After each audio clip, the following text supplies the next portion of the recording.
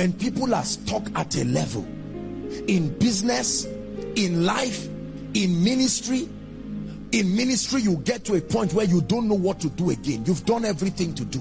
Let me show you the mystery. Are you ready?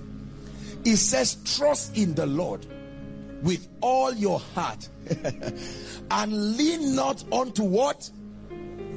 So the first point is you have understanding. You are not daft you don't need to ask god lord do you know i'm daft he already told you i'm aware you have understanding correct next verse this is where the miracle is. Everyone, please read if you are anointed. One, to read. Stop. When you get to a crossroad in your life, hear me, because it will happen. In any area of your life, a time must come when you will be stuck and standing before you and around you will be people hoping that their prophecies of doom over your life will come to pass. Finally he has been trapped. Finally he has been trapped. They prophesied it. They hoped you will fall. And right now you are in a situation that if God does not intervene what they said will happen. Let me show you the key. He says in all your ways he uses a very subtle term acknowledge him. Please open the eyes of your spirit. Acknowledge him. And then the reward is that he will direct. All of a sudden a road will come out. Remember he can become a road. I am the way. Are we together? So it's not just that he will show you. There is no way physically. Then he comes to become the way and say follow me imagine that i'm stuck here and somebody comes and i don't see this again. I see road and then i start following it. When you find out this principle those who look for your downfall will keep looking forever. Because when men are cast down and you are part of them all of a sudden god will route another mystery and you will come out like no smell of smoke. Two people in the same situation one escapes and leaves the other as if God is not fair. Let me show you the key. In all your ways, the moment this is why testimonies are important in the life of a believer. Listen carefully. Testimonies are a documentation of the faithfulness of God. Every time God gives you a testimony, you should have a record of it. I don't mean just writing it. Archive it because it will be the stimulator of the next one. Listen carefully. When you get to a crossroad where there is nothing, he says, forget about the problem. Turn back and start saying, where is the God that saved me yesterday?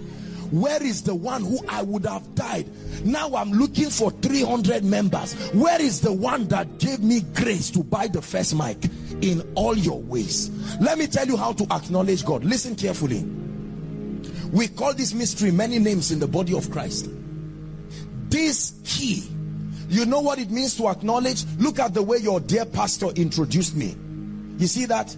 Oh there is a man here there is this and that. If you are a businessman sir and i'm about to introduce you in a very prestigious way i begin to list your accolades the things you have done. In 1999 he was awarded the most successful businessman in lagos. In 2000 against all odds he had the highest returns in his bank. In 2001 and everybody's listening i say ladies and gentlemen we cannot continue until we rise up on our feet and acknowledge so so so and so. In all your ways there is no door. It's not that it cannot be opened. There is no door. And the bible says forget about that rent issue and turn to him and start singing a song and say lord i remembered when i wrote jsc i didn't write one paper. It still came out a. Where is the god who gave me that a? I may be so old but i've forgotten. Leave rent issue in all your ways. You can do it in a dance. Come on yoruba people. You can do it in a song. Listen. This is what we call the mystery of praise. It's not just praise is a system in the kingdom. It's a bailout, a mysterious bailout system. Pastor, the nation of Israel applied this. Every time their enemies encompassed them and there was no hope, they would just gather around and say, Leave the issue of enemies. You are good and your mercy is forever. Hallelujah. Was a chant. You are good and your mercy is forever. Hallelujah.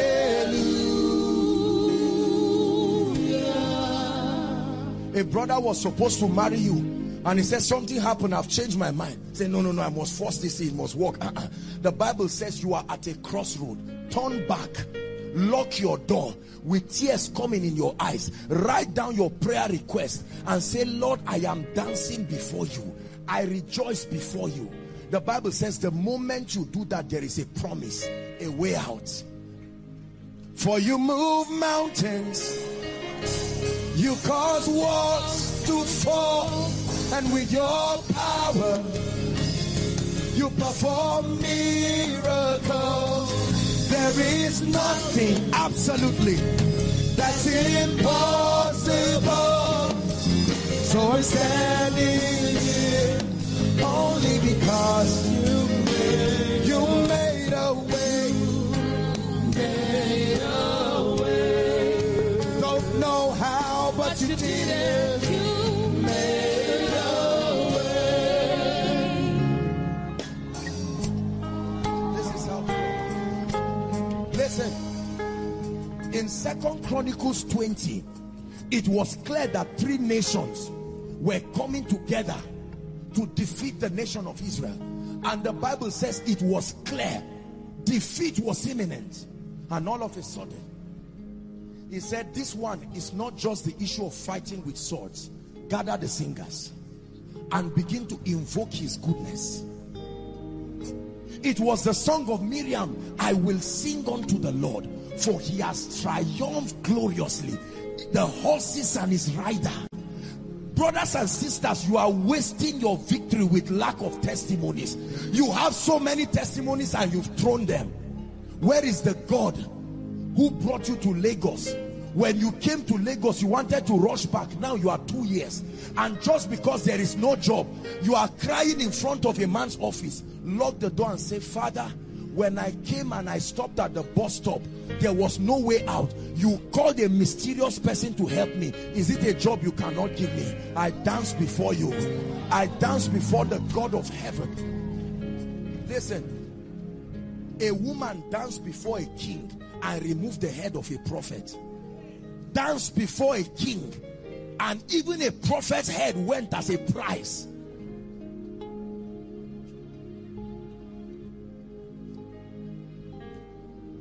They asked Bishop Oyedepo, Kenneth, Kenneth Copeland asked him, Pastor, and said, You claim we are the ones who trained you in the matters of faith. How come you have so much crowds? And he laughed. He said, I dance every one of them into that tabernacle. I dance every one of them. A dance is not just shaking your body, it's a deep mystery in the spirit. Ask David. Ask David when David was dancing, his wife looked at him and said, so this is now how stupid you are. And David said, you better join me. Remember when I was in the wilderness, I'm dancing before the God who took the kingdom from your father and gave me so that somebody will not take the kingdom from me. Listen, when David stood before Goliath, it was clear that they would defeat them. Hear what he said. The God, come on now in all your ways acknowledge him. It didn't say Goliath don't play with me. I'm of the tribe of the Benjamites. Uh -uh. the God.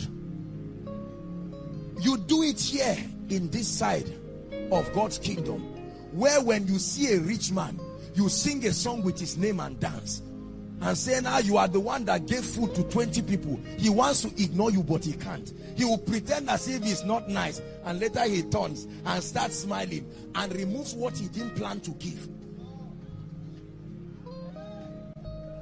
Listen listen. I do it pastor. I write everything that represents a challenge and i lock myself. I sing and dance like a fool. And all of a sudden my god somebody will stop sleeping because I danced. Simple. Your dance can wake your helpers. Your dance can shake the gates of hell.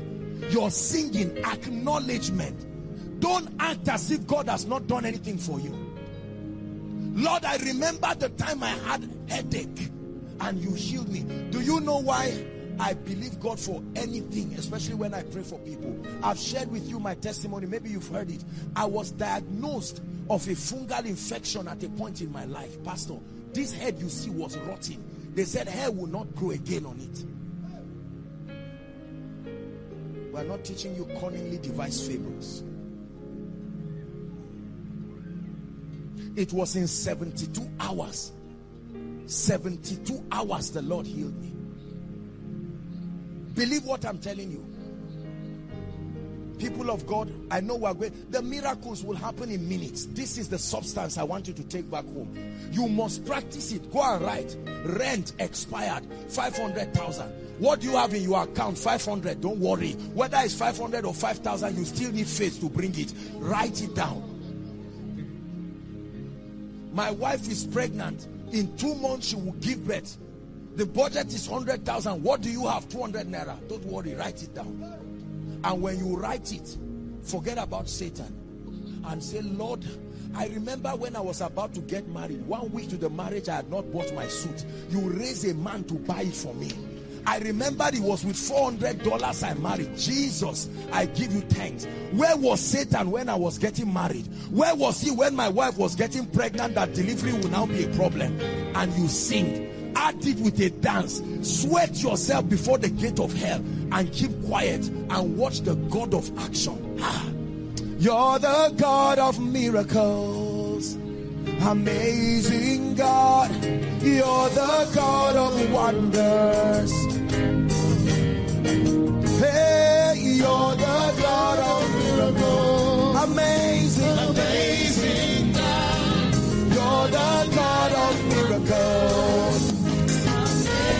one more time, House of David.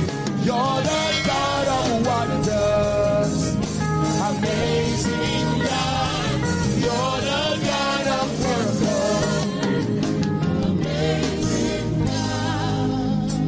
Let me show you what Jesus did to multiply the bread.